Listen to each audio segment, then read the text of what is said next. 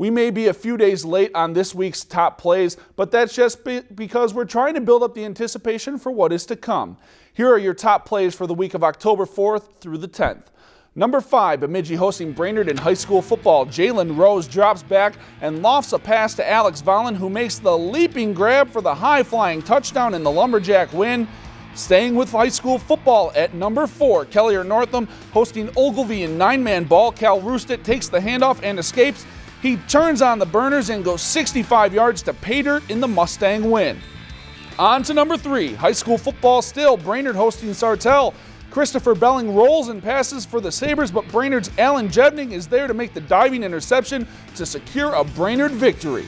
BSU men's hockey at number two. Under 30 seconds left in the game against UMD, Bemidji's Charlie O'Connor finds the back of the net. The Beavers upset number two ranked Bulldogs. More from that game right now. Number one, BSU's Michael Bitzer. He gets one save here, then dives back across the net to make another save, denying UMD's Cal Dukowski. His 28 saves paved the way for the Beavers in their upset victory over the Bulldogs. If you've enjoyed this segment of Lakeland News, please consider making a tax-deductible contribution to Lakeland Public Television.